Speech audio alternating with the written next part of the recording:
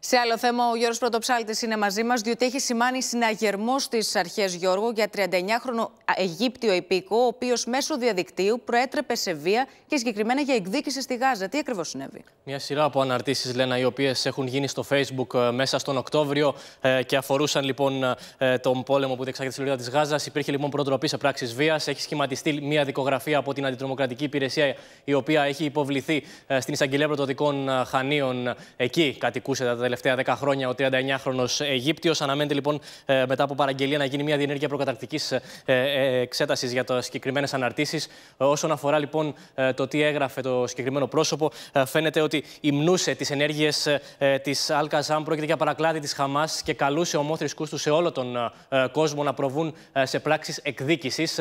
Φαίνεται λοιπόν ότι παρατηρούσαν και ερευνούσαν τις συγκεκριμένες αναρτήσεις στα στελέχη αντιδημοκρατικής. Σχηματίστηκε συγκεκριμένη δικογραφία και αναμένουμε τώρα τα αποτελέσματα της έρευνας. Σε ευχαριστούμε πολύ.